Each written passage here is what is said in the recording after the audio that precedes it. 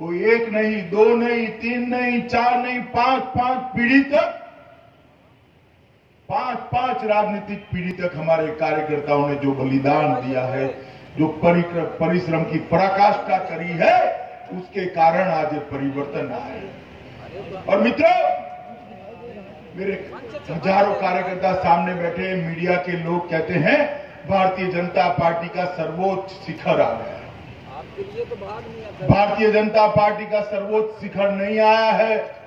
Media की उपस्थिति में मैं कहना चाहता हूँ, अभी बहुत मजल काटना बाकी है। बहुत मजल काटना बाकी है। अभी बंगाल जितना है, ओडिशा जितना है, आंध्र, तेलंगाना, तमिलनाडु और केरल जितना है, तब जाकर भारतीय जनता पार्टी का काम समाप्त मध्य प्रदेश में सिर्फ़ सरकार बनाना हमारा लक्ष्य नहीं है। मध्य प्रदेश के हर बूथ के अंदर भारतीय जनता पार्टी का झंडा हो, हर बूथ के अंदर हमारा प्यारा कमल खिला हो, इस प्रकार के भारतीय जनता पार्टी की रचना के लिए हमें चुनाव लड़ेंगे। हमारे पुरखों ने पाँच पीढ़ी तक बलिदान और परिश्रम कर कर भारतीय जनता पार्टी को यहाँ पर पहुँचाया है। और आज हम सब भाग्यवान लोग हैं कि ऐसे समय में काम कर रहे हैं कि भारतीय जनता पार्टी विजय ही विजय को प्राप्त कर रही है। मगर मित्रों, हमारी भी एक ज़िम्मेदारी है। पचास साल तक हमारे पुरखों ने संघर्ष किया है। इस बार मध्य प्रदेश और केंद्र में। 2018 और 19 का जो चुनाव आने वाला है, उसमें इस प्रकार की विजय प्राप्त करनी है, जो विजय यहाँ से एक हवा का निर्माण करे, छत्तीसगढ़ पहुँचते पहुँचते हवा आंधी में बदले और दिल्ली तक पहुँचते पहुँचते सुनामी में बदलकर पूरे हिंदुस्तान के अंदर भारतीय जनता पार्टी का झंडा मज़बूत करे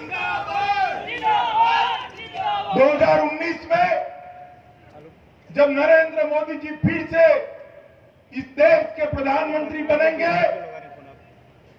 18 में फिर से एक बार शिवराज जी इस राज्य के मुख्यमंत्री बनेंगे।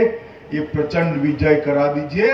मैं आपको गारंटी देने आया हूँ 50 साल तक पंचायत से लेके पार्लियामेंट तक भारतीय जनता पार्टी को कोई पराजित नहीं कर पाएगा, मित्रों, कोई पराजित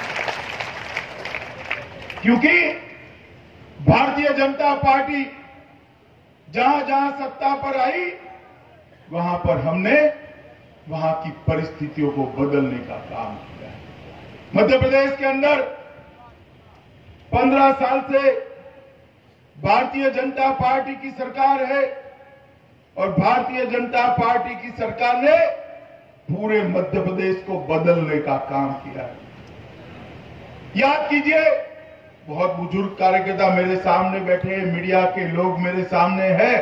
पंद्रह साल पहले जब कांग्रेस की सरकार थी, श्रीमान बंटाधार मुख्यमंत्री थे, पूरे राज्य में अव्यवस्था, कानून और व्यवस्था का खोखलापन, रोड के अंदर गड्ढे गड्ढे में रोड, आदिवासी के घर में बिजली नहीं, गाँव में बिजली नहीं, किसानों को फ़सल के दाम नहीं, हर प्रकार से मध्य प्रदेश एक पिछड़ा हुआ राज्य था। मध्य प्रदेश को पूरी दुनिया बीमारू राज्य में के नाम से जानती थी। मैं कांग्रेस के मित्रों को याद कराना चाहता हूँ। जो मध्य प्रदेश आप छोड़कर गए थे, वो मध्य प्रदेश बीमारू राज्य के रूप में जाना जाता था। तीन बार मध्य प्रदेश की जनता ने हमें आशीर्वाद दिया।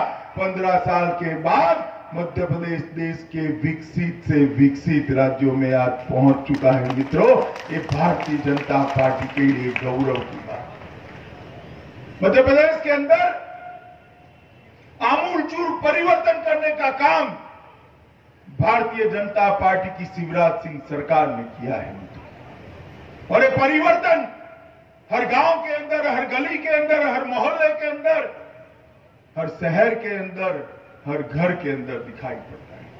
मैं कुछ आंकड़े आपके माध्यम से मध्य प्रदेश के सारे कार्यकर्ताओं तक पहुंचाना चाहता हूँ, मित्रों।